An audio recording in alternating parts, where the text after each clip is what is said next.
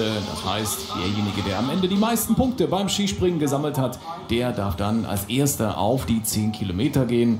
Und wer als erster ins Ziel kommt, nach den 10 Kilometern, der hat den Weltcup gewonnen. Michael Werpes hat es eben schon angedeutet. Es geht super spannend zu beim Kampf um die große Kristallkugel zwischen Johannes Lamperter und Jarl Magnus Rieber. Rieber, der ja die letzten drei Mal diesen Gesamtweltcup gewinnen konnte und in diesem Jahr, Anfang des Jahres, ein bisschen aussetzen musste aufgrund von Verletzungen. Und deswegen ist es so spannend. Im Augenblick führt Lamperter noch mit winzigen 19 Punkten. Beide haben um die 1200 Punkte. Die sehen wir dann direkt am Ende hintereinander mit den Startnummern 46 und 47. Raffaele Buzzi aus Italien, die Italiener in dieser Saison, der olympischen Saison, weit abgeschlagen, kaum mal mit Chancen auch nur auf ein Podium. Insbesondere enttäuschend die Saison für Alessandro Pettin, den wir schon gesehen haben mit der Startnummer 9. Und das bedeutet, dass er in dieser Saison gerade mal sechs Weltcup-Punkte gesammelt hat. Auch bei Buzzi ist es nicht viel mehr. 40 Punkte und die Besten, er hier mit Startnummer 14, dann mit der 47. Und er führt im Augenblick, der junge Mann aus Berchtesgaden, Christian Frank.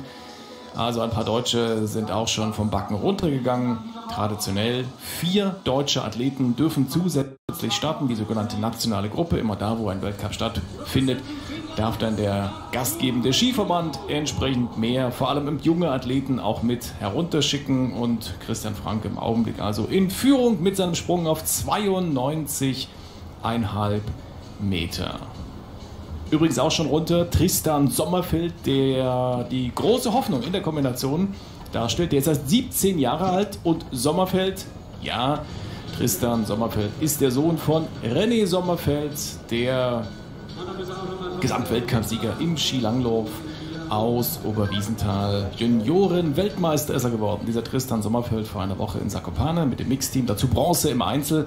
Also da sind große Hoffnungen, wenngleich er natürlich hin zum Top-Team, dem A-Team in Deutschland, noch einen weiten Weg zu gehen. Artu Mekiaho aus Finnland. Bei den Finnen wird es einen großen Umbruch geben, zumindest was die Trainer betrifft. Ihr Sprungtrainer aus Österreich, Holger Brissmeier, das war lange klar, wird sich wieder verabschieden. Das war ein Projekt für zwei Jahre hin zu den Olympischen Spielen. Die Erwartungen haben insbesondere Ika Herola und vor allem auch Erdo Hedewonen, den wir dann noch sehen werden mit Herola, nicht erfüllen können. Man hatte große Hoffnungen, nachdem die Finnen ja mit Herola eine WM-Medaille im vergangenen Jahr in Oberstdorf feiern konnten. Jetzt bei den Olympischen Spielen hat es für die Finnen für keinen vorderen Platz gereicht. Auch er kann die Weite von Christian Frank nicht angreifen. Arthur Mekiao. Antoine Gerard schon unterwegs, der 26-Jährige aus Ventron, aus den Vogesen. Einige Freunde, Familienmitglieder auch von ihm hierher mitgekommen. Ist ja gar nicht so weit im Südwesten Deutschlands, Schonach im Schwarzwald gelegen. Diese noch auf dem Weg nach oben. Johann Schmid sehen wir gleich ins Bild kommen hier mit der 38. Was für eine irre Saison für ihn. Der jüngste im Top-Team der Deutschen mit seinen ja, erst 22 Jahren und dann gleich eine olympische Medaille in der Staffel. Am Ende war es die silberne. Ein Deutscher übrigens heute nicht dabei. Viele Grüße ist ja nur einige Kilometer entfernt an Fabian Riesle, der ohnehin eine nicht wirklich schöne Saison hatte, auch das Olympiaticket nicht sichern konnte, den Saisonhöhepunkt von zu Hause aus erleben musste, der noch im Weltcup immer dabei war. Bis heute, ihn hat es mit Corona erwischt, positiver Test, obwohl der CT-Wert eigentlich über 30 ist, aber positiver Test und dementsprechend kann er im Augenblick nicht mit dabei sein. Viele Grüße hat sich kurz vor dem Weltcup auch nochmal über seine sozialen Medienkanäle gemeldet. Schönes, lustiges Foto mit seiner Tochter gepostet. Also dem wird nicht langweilig werden. auch wenn die Saison für ihn enttäuschend war. Aus dem deutschen Lager gibt ja einige, die nach dieser Saison die Karriere beenden werden. Gibt es im Augenblick keine Signale, dass auch nur ein einziger der Top-Athleten nicht in die neue Saison gehen wird, in die WM-Saison. Und das gilt auch für ihn, für Erik Frenzel, der natürlich trübe Minuten, trübe Stunden in China hatte, während der zehn Tage in Quarantäne nach seinem positiven Corona-Test. Was für ein Drama am Ende ja doch noch mit einer Silbermedaille in der Staffel belohnt in diesem hochdramatischen Rennen, als Erik Frenzel den letzten Kilometern in der Staffelentscheidung an Position 3 gesetzt, abreißen lassen musste, umkippte, noch nicht mehr, mehr verfolgen konnte, was der Schlussläufer, was Vinzenz Geiger dann noch auf den Schnee gezaubert hat und dass es am Ende noch Silber geworden ist. Ein dramatisches Rennen für Erik Frenzel. Am Ende waren sie alle froh, dass er erstens wieder aufstehen konnte, gesund ist und am Tag darauf sind sie dann belohnt worden mit der Silbermedaille. Ja, der Wind, Sie sehen es rechts unten, jetzt dann doch etwas frischer hier auf der Anlage. Gestern in der Qualifikation hat das äh, relativ gut geklappt. Es ist heute nicht ganz so schlimm für ihn, wenn er da in der Leadersbox sitzen muss. Ich hatte es angedeutet, deutliche Plusgrade. Jetzt können es vielleicht auch schon 8 Grad oder 9 Grad sein, wenn die Sonne dann reinkommt. Dann äh, braucht man auch nicht mehr mehr die dicke Jacke. Das kennen die Athleten, die in China dabei waren, natürlich auch ganz anders. Dort ja die Kälte ein Riesenthema, die vor allem die Energie herausgezogen hat aus dem Körper. Der Blick herunter von der Schanze in den kleinen Ort Schonach hinein, gut 50 Kilometer nordwestlich von Freiburger Breisgau gelegen, auf knapp gut 900 Meter Höhe. 4000 Einwohner leben hier in diesem Ort, der berühmt ist für seine Athleten, übrigens auch für die weltweit größte Kuckucksuhr. Ja, also falls Sie mal in Schonach sein sollten, lassen Sie sich das nicht entgehen. Und Lars Ivers Gasset wird jetzt weniger eine Uhr, sondern vielmehr die Ampel im Blick haben, in der Hoffnung, dass die sich irgendwann zur grünen Farbe wendet. Der Korridor eingestellt von der Jury, um Jan Rune Grabe, den Assistenten des Renndirektors Lasse Ottesen. Das ist derjenige, der die Ampel bei allen Weltcups und auch bei den Olympischen Spielen bedient. Aber im Augenblick gibt es keine Chance für Lassi Vasgaset, den 24-Jährigen äh, aus Lillehammer hier herunterzukommen. Das hat weniger damit zu tun, dass es gefährlich ist. Die Windgeschwindigkeiten im Augenblick nur so um die 1,5 8, 9, maximal 2 Meter pro Sekunde. Aber der Korridor, den die Jury im Vorfeld eingestellt hat, der ist durch die Windgeschwindigkeiten verlassen. Und um einigermaßen faire Bedingungen für alle Athleten, vergleichbare Bedingungen zu gewährleisten, im Augenblick also diese Grafik im unteren Teil des Aufsprunghangs rot eingefärbt. Das Einzige, was die Jury machen kann, ist, den Anlauf zu verlängern, den Korridor dann neu einzustellen, um den Wettkampf hier zügig weiter fortsetzen zu können.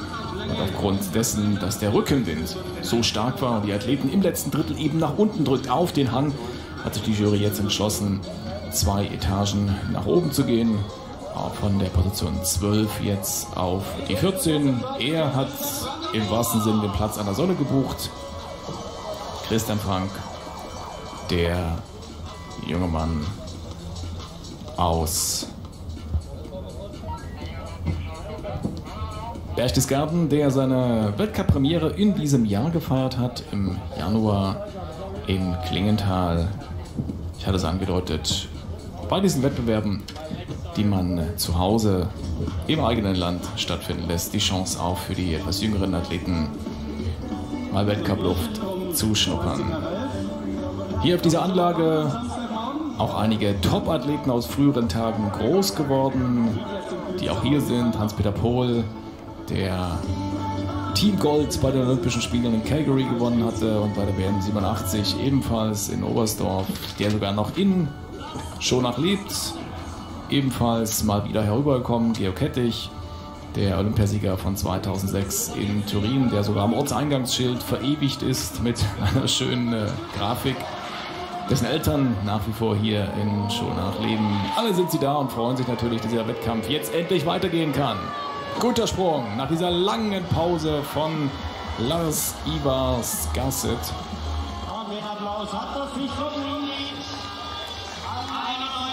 91 Meter für ihn.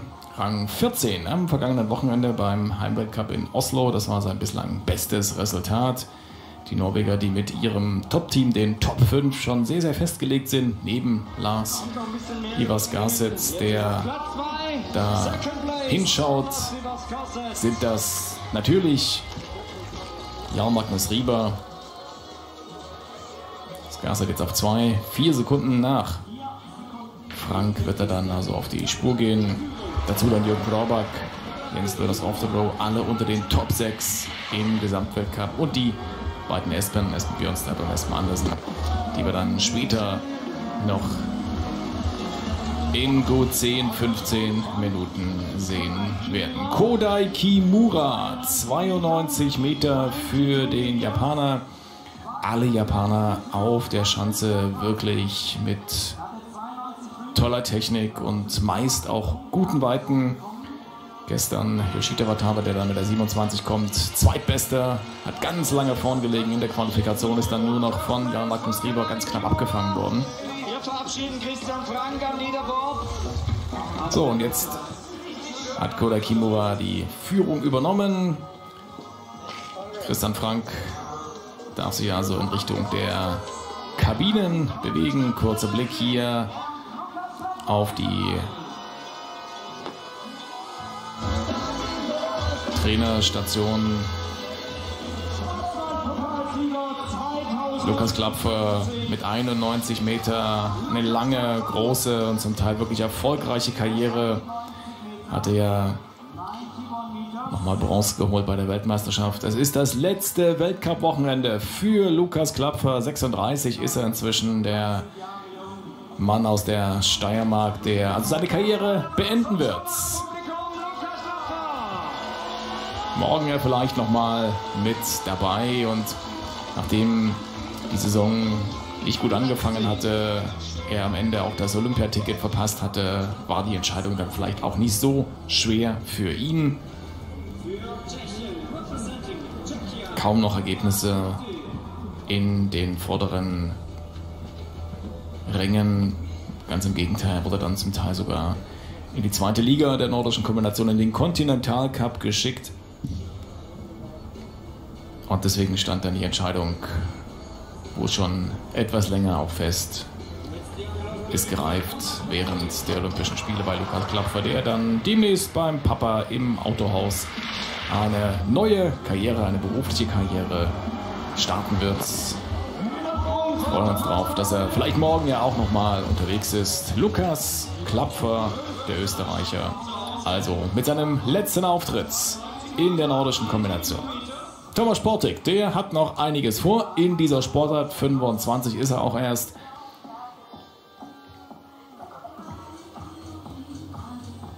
kuriose Szene bei ihm bei den Olympischen Spielen, als er sich in Richtung Ziel verlaufen hatte. Hatte schon vier Runden geschafft beim Wettbewerb von der Großschanze. Dann bei den 10 Kilometern und bog dann falsch ab. Ging nicht Richtung Ziel, sondern ging in äh, Richtung der nächsten Runde. Hat dann einige Plätze noch verloren, ist nur 27. geworden. Das war ja auch Jan Magnus Rieber passiert, nur eben umgekehrt. Der war nach der ersten Runde schon in Richtung Ziel abgebogen. Hat dadurch entscheidende Sekunden verloren und am Ende war es nichts mit der Medaille. Einmal mehr für Jan Magnus Rieber, der dann auch auf den Staffeleinsatz verzichtet hat. Soda Yachi, die Japaner, die ja monatelang fern der Heimat sind, die im Spätherbst nach Europa kommen, dann die ganzen Weltcups hier bestreiten. In dieser Saison gab es ja keinen Weltcup daheim in Sapporo oder auch an Hakuba, der Olympiaschanze, wo sie ihr Zentrum haben. Dann geht es meistens kurz über Weihnachten, Silvester mal nach Hause und dann wieder ein paar Monate in Europa. Am Montag geht es dann zurück nach Japan, auch für ihn hier den Studenten, wobei er kann das mal ein bisschen die Beine hochlegen, gibt gerade Semesterferien in Japan. Also kann den Kollegen mal nicht abfangen. So, jetzt Erdo Hirdewohnen hatte vorhin schon über den Sprungtrainer, den akribischen, den Arbeiter, den Motivator gesprochen, über Falco Chrismeier, der Österreicher, der die letzten zwei Jahre die Finnen betreut hat. Im Kombiniererlager hält sich auch das Gerücht, dass Peter Kuko und der Cheftrainer sein Amt niederlegen wird. Das wäre eine klare Zäsur.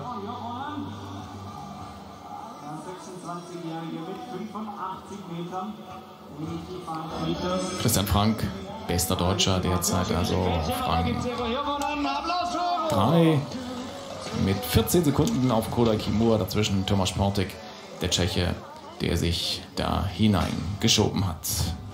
So, er auch nicht dabei bei Olympia und dann in der vergangenen Woche plötzlich Platz 5 für Philipp Orter beim Weltcup in Oslo mit seinen 26. Das war sein bestes Resultat im Weltcup überhaupt. Breite Brust natürlich beim Mann aus Villach Kärnten.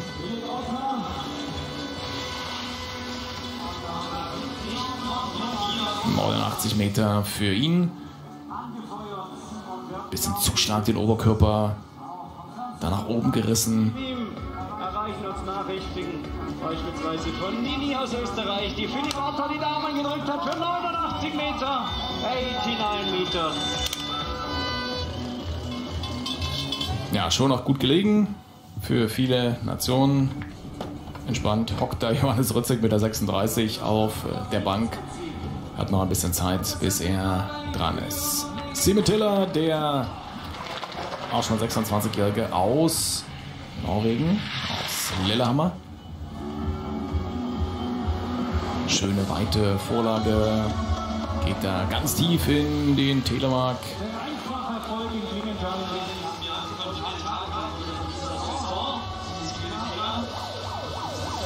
Er hat ja zu Hause gesessen und hatte die gepackten Koffer schon dabei, ähnlich wie das beim deutschen Team bei Manuel Feist der Fall war, was Olympia betraf. Er war der Ersatzkandidat für Rieber.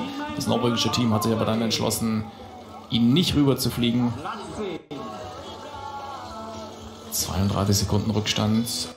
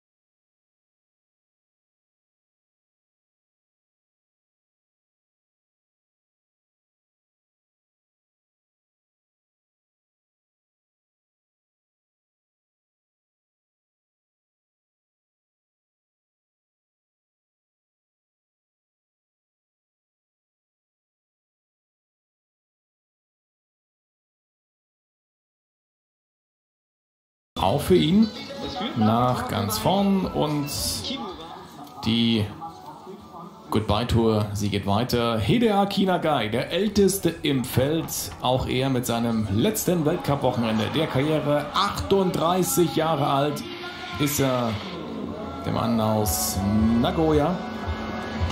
Guter Sprung nochmal. Auch bei den Japanern deutet sich ein doch etwas überraschender Trainerwechsel an.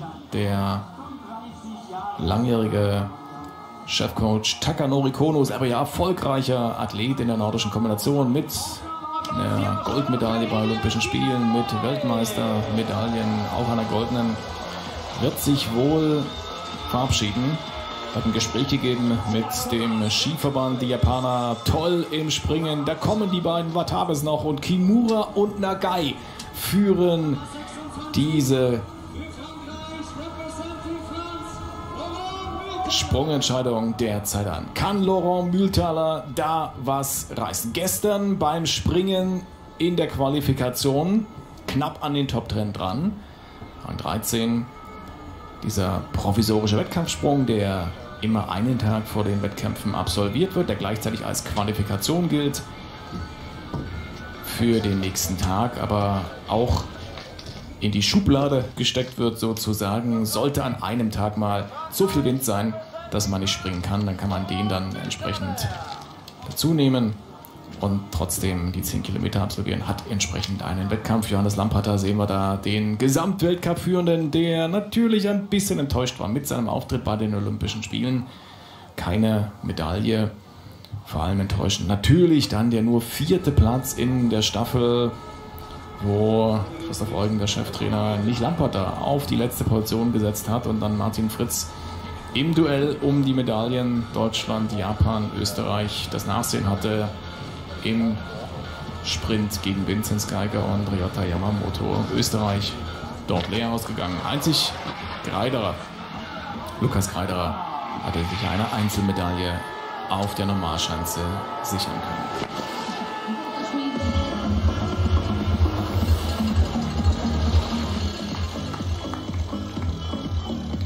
87 Meter für den 24-Jährigen aus Permanent. Wind nach wie vor deutlich von hinten, gibt dann inzwischen zwar, wie Sie das kennen, die Windkompensation, wo die Athleten ein paar Punkte obendrauf bekommen, aber dieses schöne Fluggefühl, das fehlt natürlich. Sonst wollte er in seinem, in seinem Frust über diesen Sprung ähm, gleich das Trikot runterreißen und dann kam Sophie Hergesheimer, die Media-Koordinatorin des Internationalen Skiverbands hat gesagt, nee, nee, nee, mein Freund, Trikot bleibt mal schön an, solange du noch nicht durch die Mixzone durch bist. Ist ja gar nicht so einfach für die Kollegen da bei den Interviews. Oh, jetzt für Shito Watabe, toller Sprung!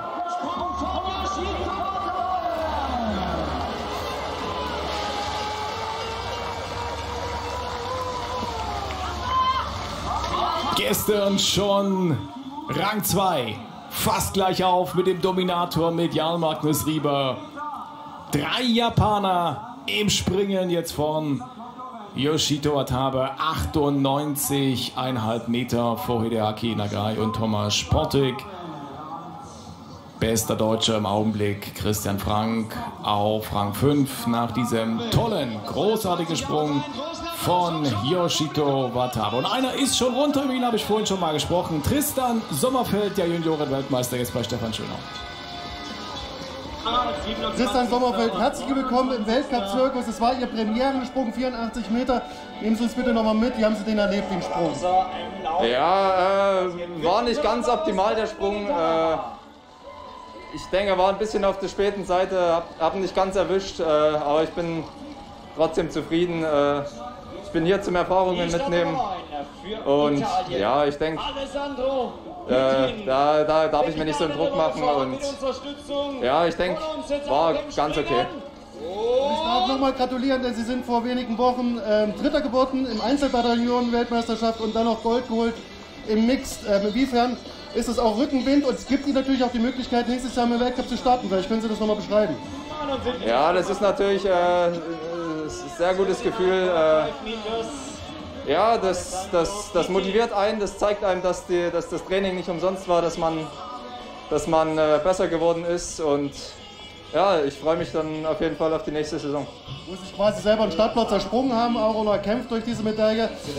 Sie sind auch ein sehr guter Langläufer. Vielleicht kann man darauf noch kommen. Das könnte auch daran liegen, dass Ihr Vater René Sommerfeld heißt und ehemaliger Weltcup-Gesamtsieger im Langlaufen ist. Inwiefern kann der Ihnen noch Tipps geben, gerade bei so einem Weltcup?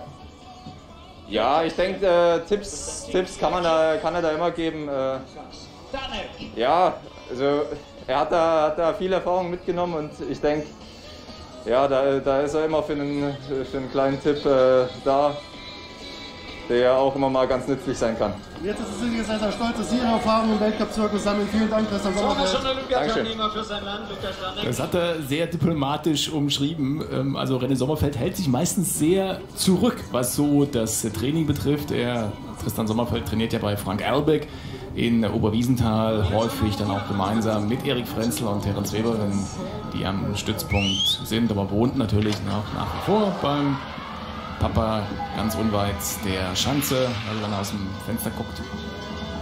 Und der Mama natürlich, äh, wenn er aus dem Fenster guckt an äh, der Straße. Das sind, äh, nicht, 200, 300 Meter bis äh, zum Fichtelberg, zur Fichtelberg-Schanze, da wo er dann zumindest die Sprünge absolviert. Das Lauftraining ja ein paar Meter höher, oben auf dem Fichtelberg in der tollen Skiarena, die nochmal umgebaut worden war zur Juniorenweltmeisterschaft vor zwei Jahren. Martin Fritz, der Österreicher, der die letzten 20 Athleten hier starten lässt. Espen Björnstad, Gold bei Olympia. Was für ein großer Erfolg für den 27-Jährigen aus Trondheim. Er und Jürgen Grabach seit Kindertagen beste Freunde. Die haben schon als kleine Bengel zusammen diese Sportart betrieben und haben dann gemeinsam auf dem Podium gestanden, sich die Goldmedaille gegenseitig umhängen können. Das war allerdings nichts, nur 88,5 Meter direkt am Tisch im Augenblick. Windgeschwindigkeiten um bis zu 3 Meter pro Sekunde. Wind zirpelt auch ziemlich schnell hin und her. Das ist auch nicht einfach für die Jury. Und die Trainer 12 im Augenblick für ihn, für Espen Björnstadt, der Blick von Johannes Lamperter, der Mann im gelben Trikot. Da rechts haben wir Vincent Geiger. Und er hier mit einer Medaille, Riesenerfolg, glaube ich der einzige Österreicher, der mit einem dicken Grinsen nach Hause geflogen ist. Lukas Greiderer, der 28-Jährige aus Absam bei Innsbruck. Was geht heute hier beim Abschluss-Weltcup-Wochenende in Schona für ihn? für ganz vorn, für die Japaner, für Yoshito Watabe, für diesen Riesensatz von Yoshito Watabe reicht es nicht, aber immerhin 90 Meter. Yoshito Watabe, eine Minute 19 Vorsprung vor dem zweiten, vor Kodai Kimura, Christian Frank. Der Mann aus Berchtesgaden nach wie vor auf Rang 5, 1,33 hinter Yoshito Watabe, aber der Rückstand auf den zweiten und dritten auf Kimura Nogai nach wie vor sehr gering. Und in dieser Ebene ordnet sich jetzt auch Lukas Greiderau ein. Der nächste Deutsche wird dann übrigens Manuel Feist mit der 33 sein, der über Umwege es ja geschafft hatte, dann zu Olympia zu kommen. Und er ist jetzt hier im Herbst, im Herbst dieser Saison richtig gut drauf. Franz Josef Rerl springt da ganz weit runter. Top 10 Resultate am laufenden Band und er knackt die 100-Meter-Marke. 103,5 Meter für Franz Josef Rerl. Schanzenrekord hier auf der Schanze liegt bei 108,5 Meter, aufgestellt von, na wem schon, von Jan Magnus Rieber im März 2019. Da ist noch ein bisschen Luft, aber dass der so weit runterfliegt, das ist kein Wunder. Erstens, weil er es richtig gut kann. Aber zweitens auch, weil er einen richtig schönen Hauch von vorne hatte. Entsprechend bei ihm, trotz der viel größeren Weite, nicht die Führung, sondern 23 Sekunden hinter Yoshito Watabe. Er hat in Bezug auf den Wind viereinhalb Punkte abgezogen bekommen. Bei Yoshito Watabe gab es fünfeinhalb Punkte obendrauf. Und deswegen bleibt er so Yoshito Watabe im Augenblick in Führung. 23 Sekunden wird er vor Real auf die Strecke gehen. Ryota Yamamoto, der kann auch in diese Regionen springen. 105 bräuchte er für die Führung. Schöner Aufwind für ihn und er springt dahin.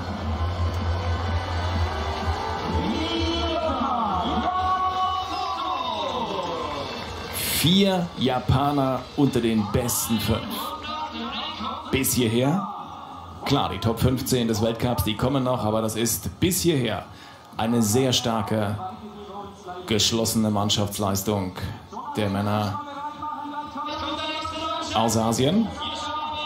Auch er mit 103,5 Meter hatte nicht ganz so viel Probleme bei der Landung und deswegen bekommt er mehr Jurypunkte obendrauf und wird gemeinsam mit Yoshito Watabe rausgehen. So, jetzt Manuel Feist. Heimweltcup für ihn, für den Maler Oberried in der Nähe von Freiburg.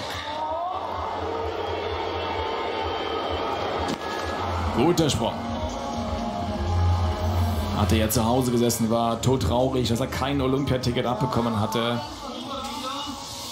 Was in diesem Team so schwer ist, hatte einen Podestplatz in Ottepe, war Dritter geworden im Weltcup und dennoch war er nicht unter den Top 5, denen Hermann Weinbuch ein Ticket nach China die Hand drücken durfte.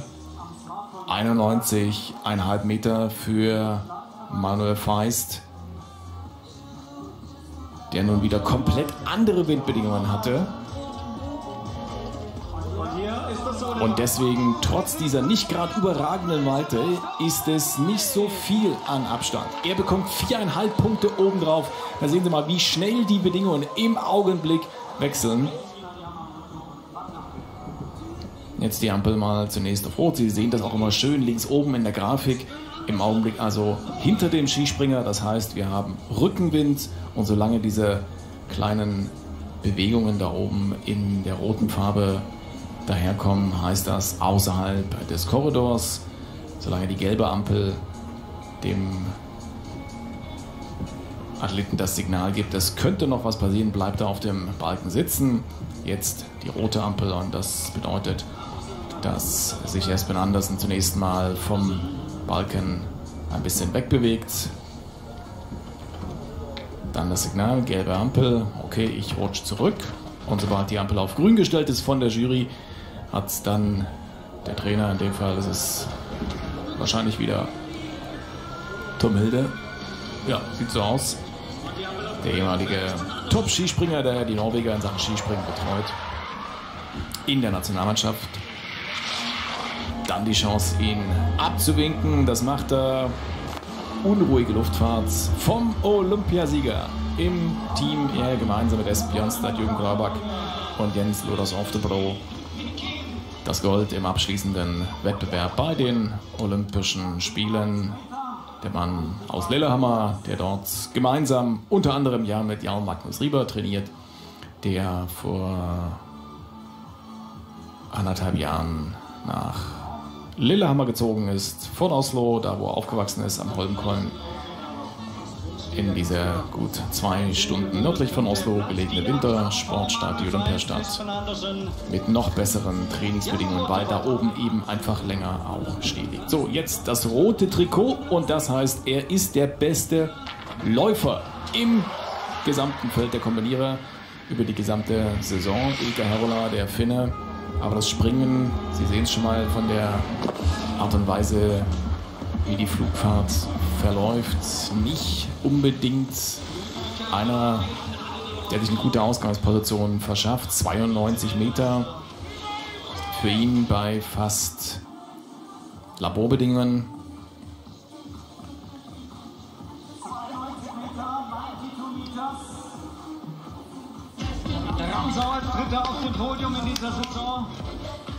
So, das sind 1,24 nach ganz vorn. Das ist für einen wie ihn hin zu Yamamoto und Yoshito Watabe durchaus etwas, was funktionieren kann.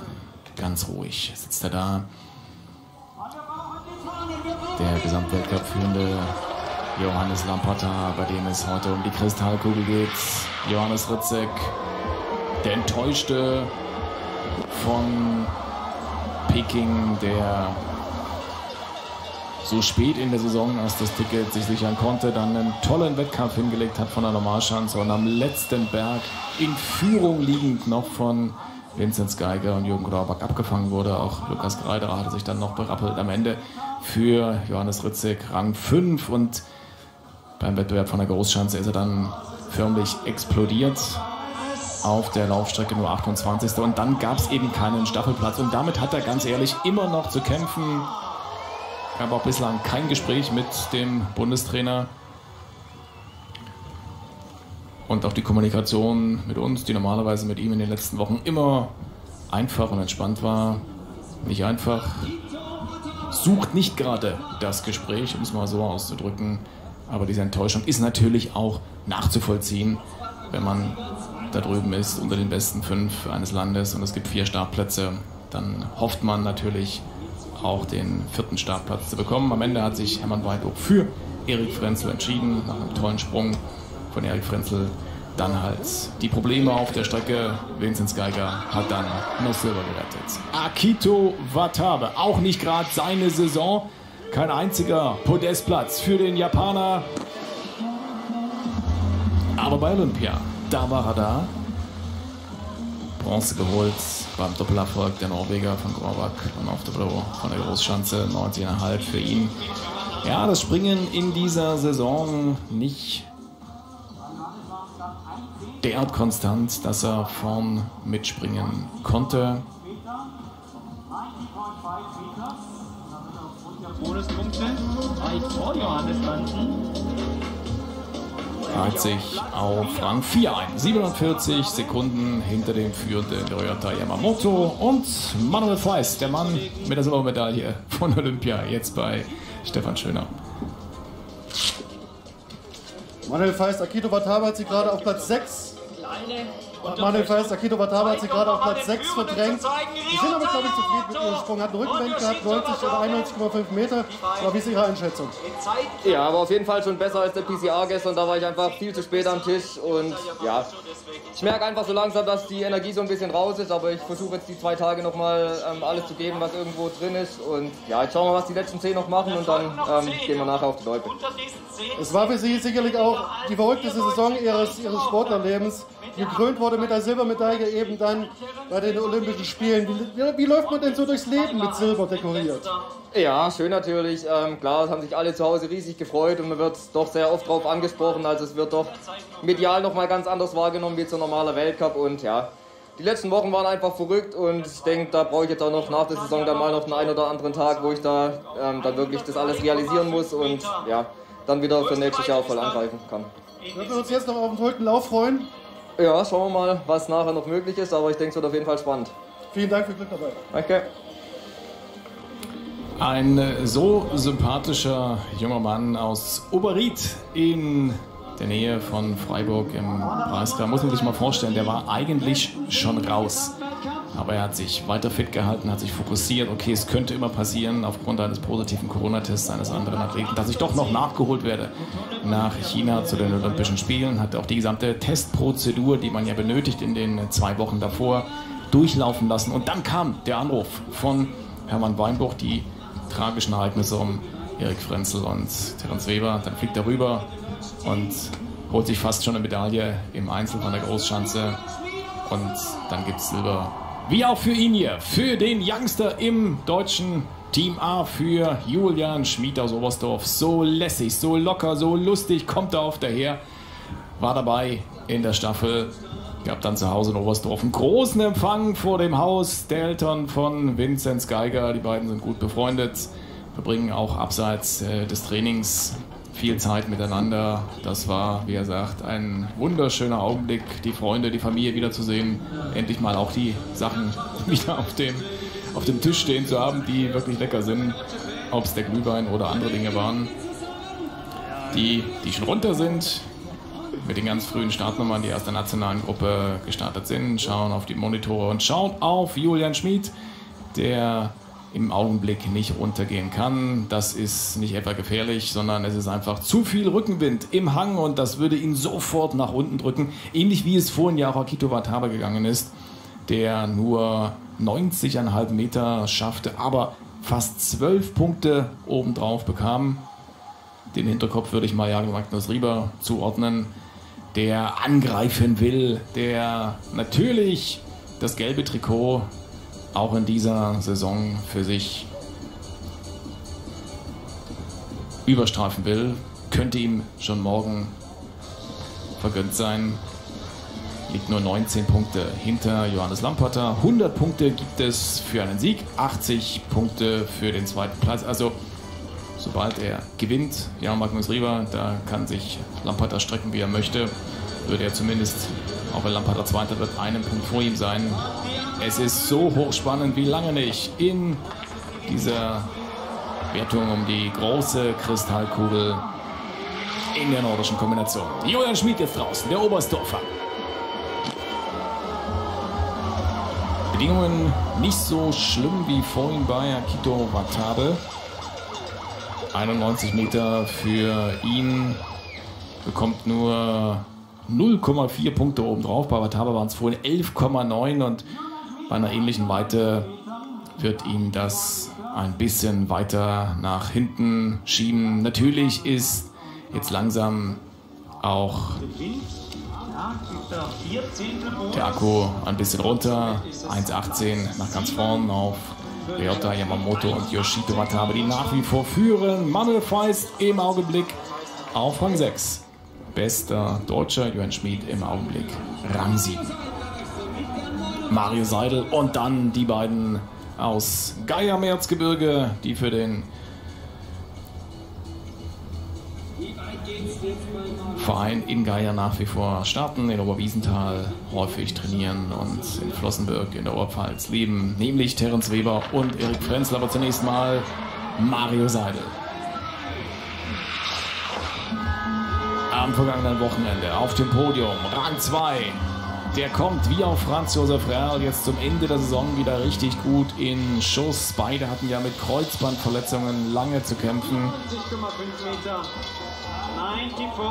Bei Olympia waren sie beide noch nicht so gut dabei, dass es für einen Podiumsplatz gereicht hätte. Aber jetzt in den letzten Wochen in Oslo Sechster am ersten Tag, Zweiter am Sonntag und im Augenblick Rang 5 für ihn.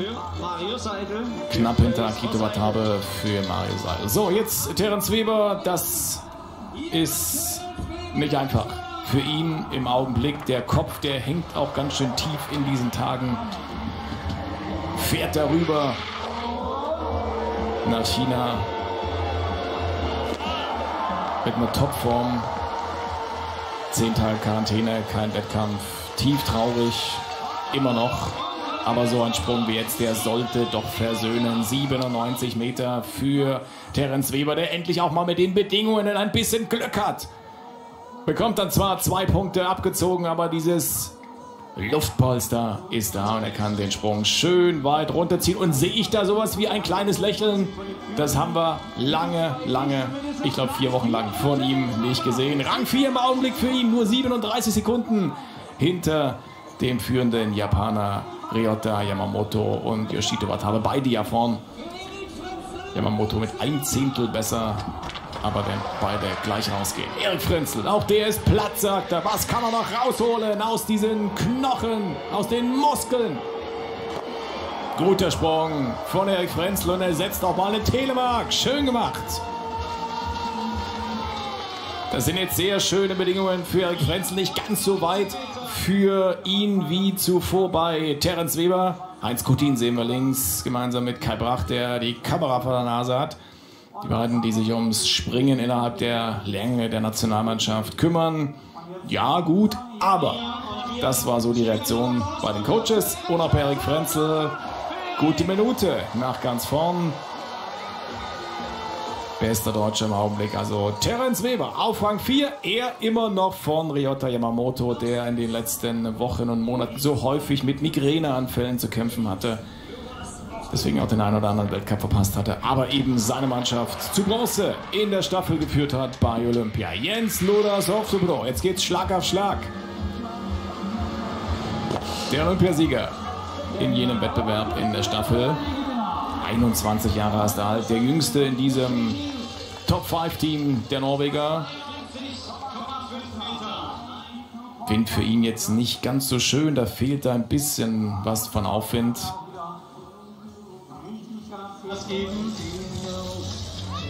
Athleten jetzt aus der Position 13 raus, 5 nach oben und darunter auch natürlich die beiden Top-Leute in Sachen Springen. Den besten sehen wir da im blauen Trikot, Best Jumper, das ist Jan Magnus Rieber. Und der zweitbeste, das ist ein halber Norweger, Christian Ilves, der seit zwei Jahren in Trondheim lebt und von den Norwegern komplett auch auf den Wettkampfreisen betreut wird. Auch er mit Corona, wie auch Rieber, der Erste, den es erwischt hatte, hat sich erholt. Toller Sprung von Christian Ilves. Seit langer Zeit gab es ja mal wieder einen Weltcup in OTP. An diesem Wochenende die Biathleten sehen wir dann später heute noch live im ersten in Estland. Wird spannend sein, ob die Kooperation zwischen dem estnischen Verband, zwischen Christian Ilves und den Norwegern weitergeht. Beide Seiten wollen es. Ob man es entsprechend finanzieren kann. Es sei ihm mehr als gegönnt. Hat einen riesen Sprung gemacht. Sowohl beim Springen, aber auch beim Laufen. Rang 3 für Christian Ilves. Unterstützung aus Estland. Auch hier in Schwarz-Weiß.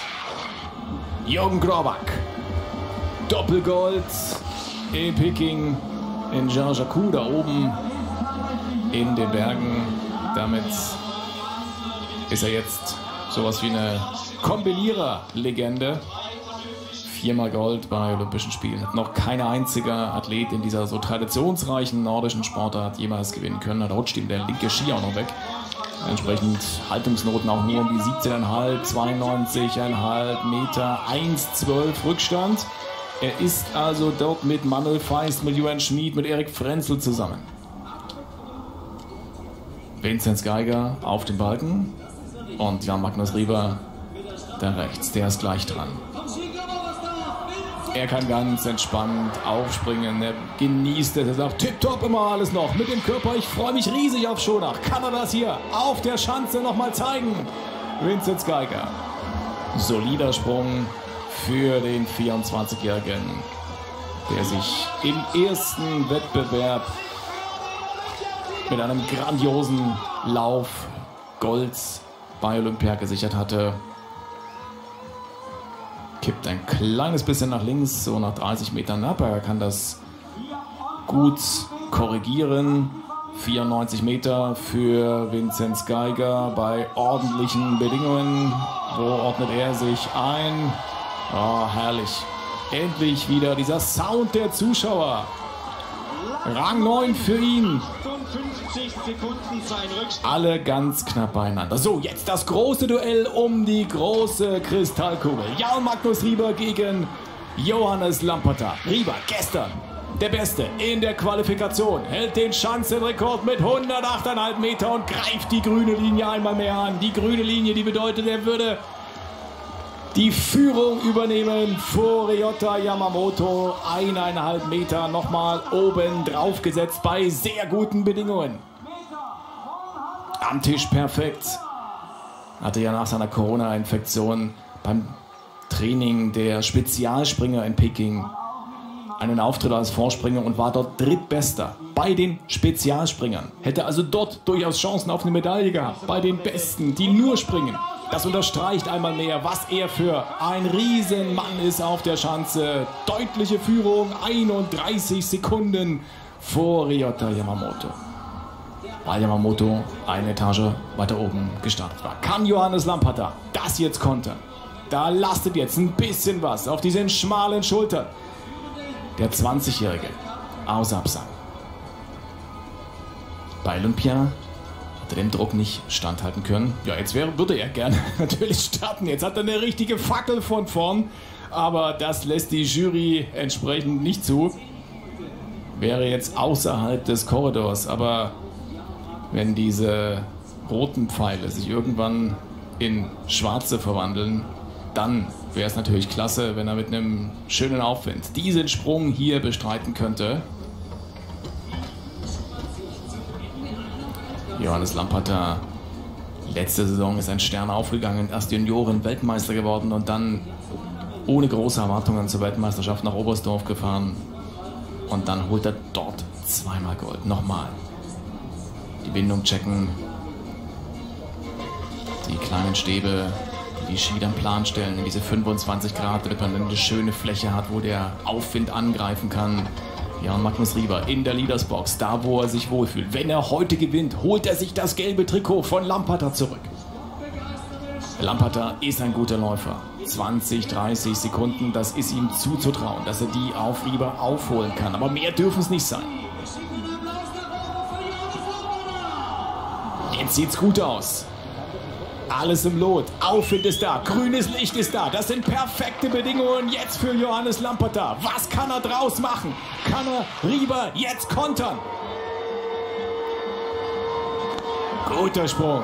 Guter Sprung von ihm. Aber er hatte auch perfekte Bedingungen. Wertungen um die 18,5.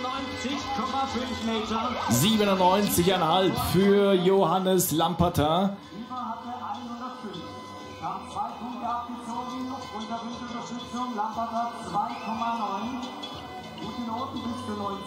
Also, da hat Rieber ordentlich vorgelegt. Mit den besten Chancen sich heute den Sieg zu holen. Johannes Lamperter zufrieden mit dem Sprung, aber auf Rang 6, eine Minute auf Rieber, das ist eigentlich zu viel. Also beste Chancen für Rieber, heute hier sich das gelbe Trikot zurückzuholen. Beste Chancen aber auch für die Deutschen auf Rang 7, bester Deutscher, das ist Terence Weber. Er kann heute Nachmittag um 14.15 Uhr angreifen, sich das gelbe Trikot zurückholen. Ja, Markus Rieber, das war's mit dem Springen.